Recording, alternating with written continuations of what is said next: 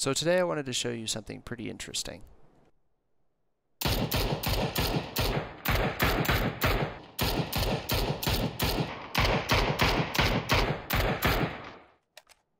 So if you have action queuing enabled, you can actually stay ADS while swapping seats in a car.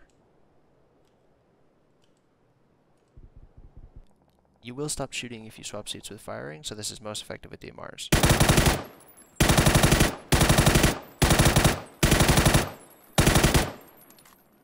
So if you're riding in a car, this can be a really good way to throw off your enemy aim because it doesn't require much of an aim adjustment for you to shoot back at them, but it requires a pretty big aim adjustment for them to shoot at you in the car as you're teleporting between seats.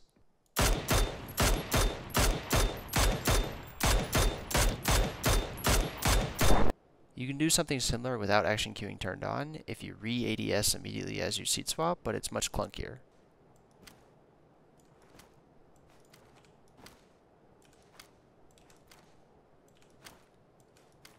So action queuing can be turned on under settings, gameplay, functionalities, and then additional action queuing. Turning action queuing on causes PUBG to behave more like other shooters, where you can hold an action key and the input will happen again as soon as it's possible. For example, if you drop off a small ledge, you'll re-ADS as soon as you hit the ground. There are some large downsides, however, to action queuing, one is that if you are cooking a smoke on a teammate, for example, you can actually pull out and throw the next throwable, which if you're not paying attention, can result in a team kill. So say you cook a smoke, you'll notice it immediately whips out the next throwable in your inventory. And if I were to let go of left mouse right now, I would throw a grenade out myself.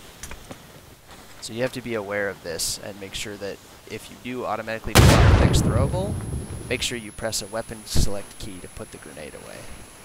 Anyway, hopefully you enjoyed this. Consider subscribing if you want more guides and more uh, PUBG videos. Thanks!